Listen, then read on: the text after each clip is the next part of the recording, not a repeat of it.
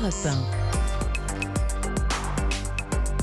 1. Votre invité, Sonia Mabrouk, est le vice-président exécutif de Reconquête. Bienvenue ce matin sur euh, Europe 1 et bonjour Guillaume Pelletier. Bonjour. Jordan Bardella, un identitaire à la tête du RN, c'est la bonne définition? Je ne sais pas, c'est à lui de se définir. Moi, je félicite Jordan Bardella pour euh, son élection. Je lui dis juste par amour de la France de ne jamais oublier qu'on ne gagne pas seul. Euh, si on veut demain euh, fédérer toutes les droites et tous les patriotes pour euh, vraiment changer la France, eh bien inspirons-nous de ce qui se passe en Suède, en Italie, bientôt en, en Espagne. Et je crois que le sondage du journal du dimanche le, le démontre hein, hier. Euh, si nous sommes divisés, nous serons derniers derrière les macronistes et les mélanchonistes. Et si nous sommes unis, le Rassemblement national, Reconquête, le parti euh, d'Éric Zemmour et puis euh, les Républicains sincères, eh bien nous pouvons être premiers et majoritaires. Vous appelez encore à l'union des droites Jordan Bien sûr, Bardella, que- toujours rejeté en tous les cas officiellement euh, cette idée. Vous pensez qu'il est possible d'établir quand même des passerelles avec le RN version Bardella? Évidemment, comme avec les Républicains, quand Même s'il vous dit non.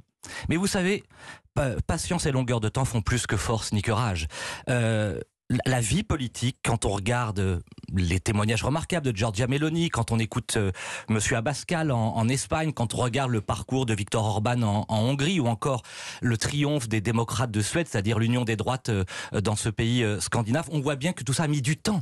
Il faut, faut être patient. Donc oui, reconquête avec Éric Zemmour, avec Marion Maréchal, avec Nicolas Bay. Nous sommes le seul parti français euh, pivot, euh, trait d'union pour l'union des droites. Et tous les matins et tous les soirs, Vous- chaque jour que Dieu fait, nous tendrons la main et au RN Oui. et au LR pour Mais pour bâtir cette l'instant, union. on vous mord la main en tous les cas du côté du RN. Est-ce que vous voyez un signe? Par exemple, le jeune patron du RN n'a pas hésité à couper quelques têtes jugées, entre guillemets, trop modérées à l'intérieur du parti. Est-ce que c'est la ligne Bardella susceptible de parler à, à vos militants, à vos sympathisants en reconquête?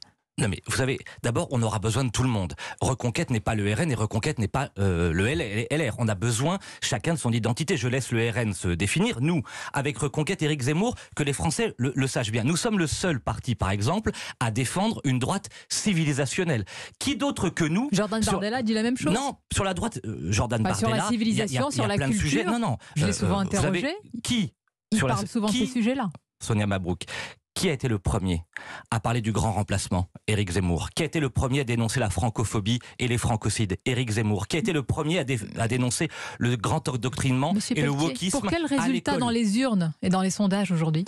Ah, vous savez, vous savez si Ah, tout se faisait en un jour, là encore je le répète, vous savez, l'endurance, la ténacité. Euh, Giorgia Meloni, je reprends cet exemple, pardon, il y a 10 ans, il y a même 4 ans, elle ne franchissait même pas les 5%. C'était deux fois moins que nous aujourd'hui. Et pourtant aujourd'hui, elle est la présidente du Conseil italien. Nous, nous pensons que Reconquête, parce que c'est ce parti original et unique qui défend la droite civilisationnelle, qui défend et qui promeut cette union des droites, qui euh, mêle un discours à la fois libéral et protectionniste sur le plan économique, parce que nous avons cette originalité, nous sommes ce parti pivot qui pourra, avec euh, les gens de bonne volonté du Rassemblement national et avec Mais- ceux de LR, quand j'entends par exemple Nadine pas- Morano s'exprimer, je me dis, et je dis à Nadine, travaillons ensemble. Elle Si sera veut- demain ici à ce micro. eh Qu'est-ce ben, que vous très lui bien, dites? ben, je, lance un appel à tous les RN, à tous les LR, dont Nadine Morano. Fondons, bâtissons cette vous union des droites et des patriotes. à la présidentielle. Il- et vous verrez que tout ça changera dans le, avec un rapport de force.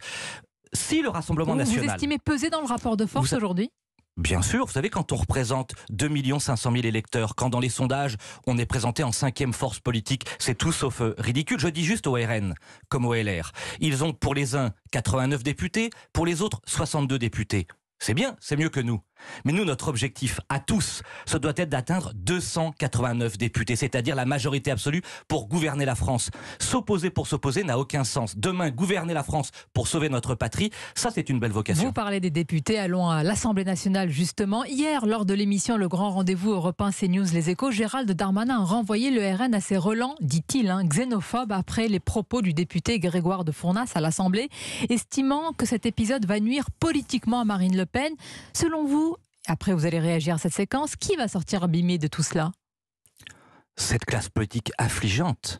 Affligeant. Euh, ce- ces membres du gouvernement, ces quelques ténors LR, euh, cette gauche bien pensante, la presse française. Mais tout ça, non mais, vous savez, une injustice faite à un seul est une menace faite à tous, disait Montesquieu. Attendez, on a été injuste vis-à-vis du député Grégoire mais de bien sûr. Vous auriez prononcé ces propos Je vais vous dire deux choses. Sur la forme, j'ai été député. Si la vie politique parlementaire pouvait euh, s'exonérer des invectives, des interruptions et retrouver le chemin de la civilité et de l'honnêteté intellectuelle, chacun en sortirait grandi, ça c'est pour la forme. Mais sur le fond, qu'est-ce qui, s'est déroulé ces derniers sur jours Sur la forme, est-ce que vous auriez prononcé vous-même Non, si vous, savez, moi en tant que député, j'ai jamais interrompu. Vous auriez dit qu'il retourne en Afrique J'ai jamais interrompu qui que ce soit. Mais parlons du fond. Mais vous l'auriez pas prononcé vous-même, parce que pour savoir votre manière de caractère, de personnalité, jamais interrompu qui que ce soit, ça m'intéresse Non, pas interrompre, mais est-ce que vous auriez utilisé cette terminologie qu'il retourne en Afrique? Ah, si, si, si je peux dire, il faut que les bateaux de migrants retournent en Afrique, oui. Il faut expulser les clandestins, oui. Ce n'est pas raciste de dire cela, selon vous? Mais bien sûr que non. Mais, mais tout le problème est là, Sonia Mabrouk. Qu'est-ce que tout cela révèle? Euh, Ces pharisiens et ces bouffons du gouvernement, de la gauche et ces journalistes soumis aux insoumis, c'est quoi? C'est de criminaliser. Euh, vous venez de parler de civilité il y a quelques instants. Bouffon, je ne sais pas si ça va dans le lexique de la civilité, oh, mais je vous laisse vos mots. Vous savez, on, est, on est dans quand même, on, a le droit aux gauloiseries quand même. On a droit au clin d'œil. Et ça fait partie du, dictionnaire de la langue française. Donc j'assume totalement ce, ce, propos, puisque nous sommes en train de basculer dans une forme, sinon de théâtre, du moins un cirque politique et parlementaire. La volonté de ces gens-là qui ont accablé Grégoire de Fournas, c'est quoi? C'est de criminaliser toute forme de fermeté migratoire. C'est d'intimider le peuple français pour l'empêcher de retrouver la souveraineté Pelletier, on peut être ferme sans dire qu'il retourne en Afrique, s'agissant quand même d'êtres humains qui sont sur un bateau en pleine mer. Est-ce que pour le moins, il n'y a pas un manque d'humanité? Non, mais comment j'ai pas euh, sur le plan de la finesse. Je l'ai dit, sur la forme, j'aurais pas utilisé cette expression. Sur le fond, je soutiens fortement ce député, car c'est un droit fondamental dans notre pays pour tous nos concitoyens que de pouvoir s'opposer à la politique d'immigration. Et ceux qui sont dans l'erreur, c'est ce monsieur Darmanin que j'ai écouté sur votre antenne euh, hier, qui est le premier responsable, avec d'ailleurs tous ses amis du gouvernement, d'une politique migratoire catastrophique. 2 millions d'étrangers rentrés sur le territoire national ces cinq dernières années. C'est catastrophique.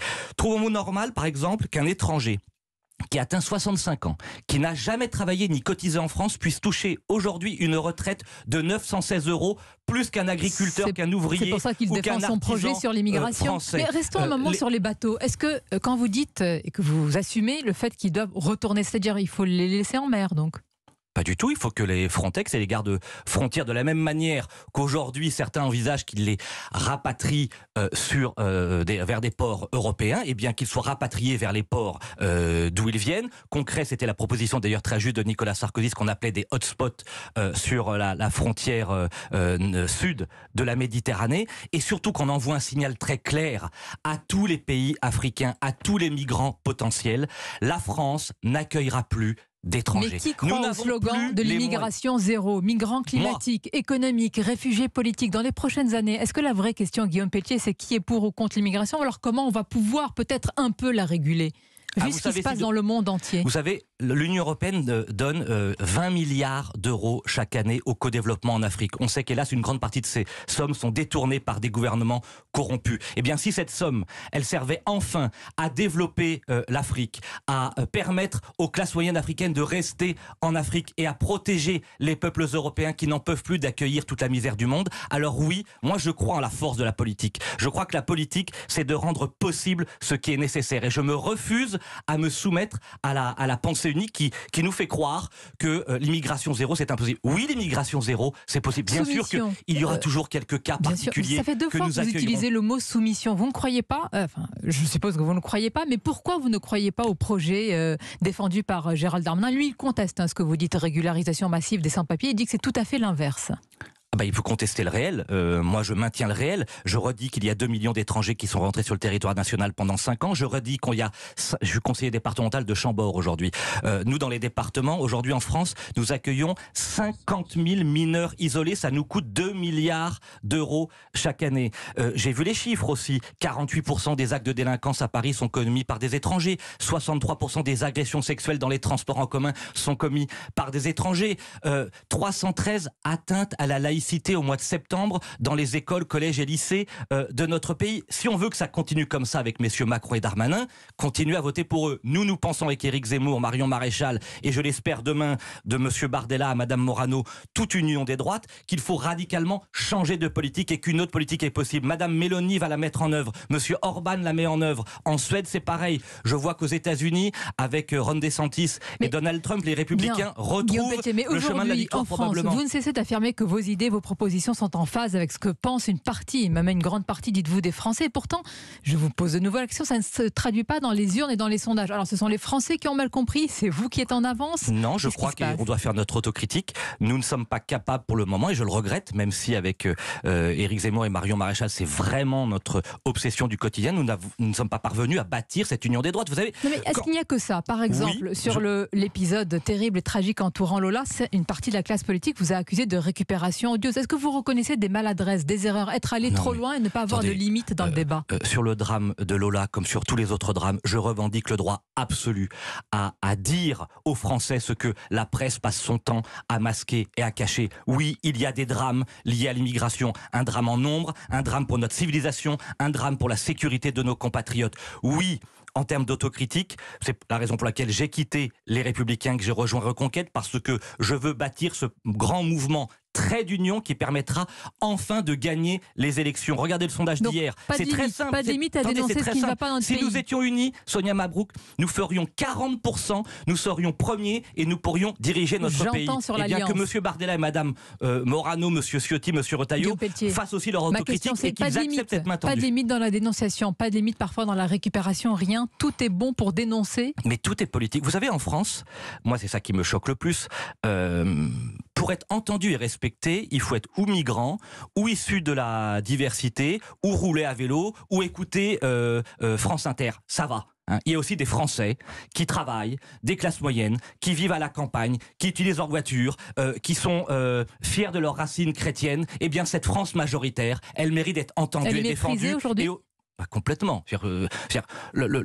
L'homme blanc, chrétien, hétérosexuel que je suis, franchement, comme tant d'autres, aujourd'hui, cette majorité, elle est méprisée. Il faut forcément appartenir à une minorité aujourd'hui pour être entendu. Eh bien, ça va. La tyrannie des minorités, ça va. Et nous, nous considérons, avec Reconquête, et je l'espère demain, avec nos alliés des Républicains et du Rassemblement National, je le répète, que nous pourrons bâtir cette force politique capable de tourner la page du macronisme et de sauver notre pays. Avez-vous lu, euh, Guillaume Pelletier, euh, Bérésina, de la journaliste euh, au Figaro, Marie-Lou Magal, qui raconte la campagne présidentielle de Reconquête?